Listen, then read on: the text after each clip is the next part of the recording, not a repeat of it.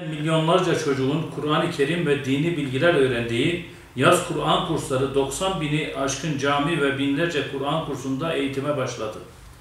Diyanet İşleri Başkanlığı'nca düzenlenen yaz Kur'an kurslarında bu yıl yaz tatili süresince binlerce çocuk Kur'an-ı Kerim ve temel dini bilgiler eğitimi alacaktır.